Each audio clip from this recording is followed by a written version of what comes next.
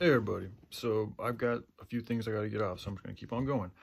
Free market. I just watched um, a, a, recent video with uh, Vivek. Uh, I'm sorry if I mispronounced that. I think it's is it Vivek or Vivek. Um, he's one of the new um, Republican candidates. He's got a lot of good things to say. Um, I don't agree with everything, but he's got some good stuff to say. So I'm glad to see somebody like him speaking the way that he's speaking. However, there's there's key things that he's missing, and he had Alex Jones on too, and, and there's things that I think Alex Jones is missing as well. So I'm gonna speak on them. Free market, capitalism. We have to take accountability for the allowance of these criminal, in my opinion, anything that is corrupting and exploiting, manipulating other life forms, which a lot of these corporations do here in America to me, that's criminal. So maybe corrupt is the better is a better word. So these are corrupt corporations that we have allowed into our country because we have a free market system. Okay, everything we do carries an energetic vibration with it. So when we have a bunch of wicked, evil, corrupt companies selling a bunch of poisonous products, that carries an energetic vibration with it just them being there and us choosing to buy them. All these things come together and have a profound effect on the area that we live in, on the type of spirits that we allow into us, and the type of money and feeling that we are putting into our economy, and the type of people that we're letting in, the type of business we're letting in, the type of mentality we're letting into our country.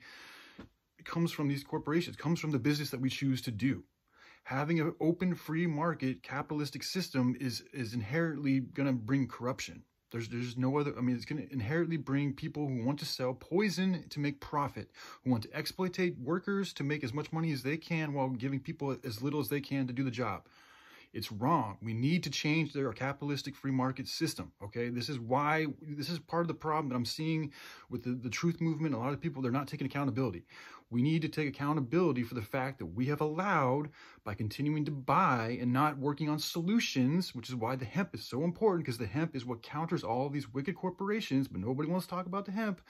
But we have allowed these corporations to become so powerful because we have bought so many products from them without doing our own homework, without figuring out alternatives, without getting the right people in place to find good solutions and good alternatives to these products, because they're out there.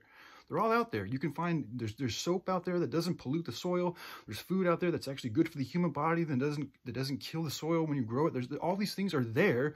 We just have to get people in place and businesses in place and support those type of businesses that are actually perpetuating these types of products.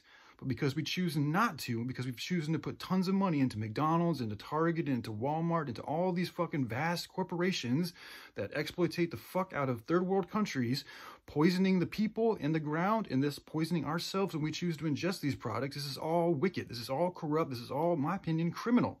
And it needs to fucking end. And it's also what's allowing all this spiritual negative energy in. And we deserve it because we're allowing this shit in. So this, free market system has got to change. Like we're, continu- we're, we're, we're allowing people to profit off of selling our own populace poison. It's wrong. It's ridiculous. And the fact that nobody's talking about it drives me fucking nuts. So um, this is what I got to do. All right. Y'all take care. Bye.